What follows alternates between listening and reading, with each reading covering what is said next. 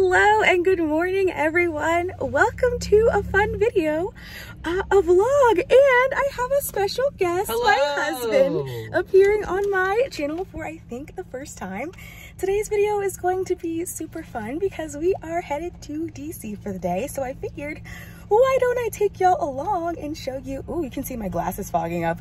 Why don't I take you guys along and show you what we are gonna be doing for the day on this super fun day trip. So we have stopped to grab our Dunkin' Donuts really, really quick.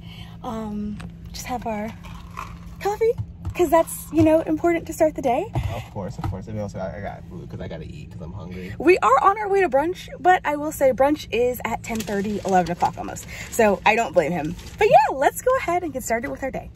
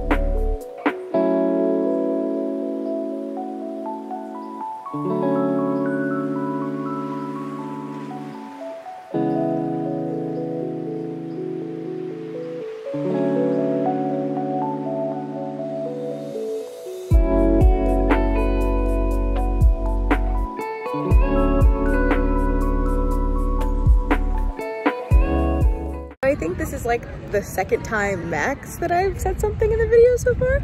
But we just decided that since we couldn't go to one of the museums because there's a parade going on and we're on a little bit of a strict schedule because of what we have planned for dinner um, and wanting to see the cherry blossoms, we are just gonna sit and head over to the cherry blossoms. But before we could do that, someone, what you doing? Doing Wordle. Had to do his Wordle for the day, of course.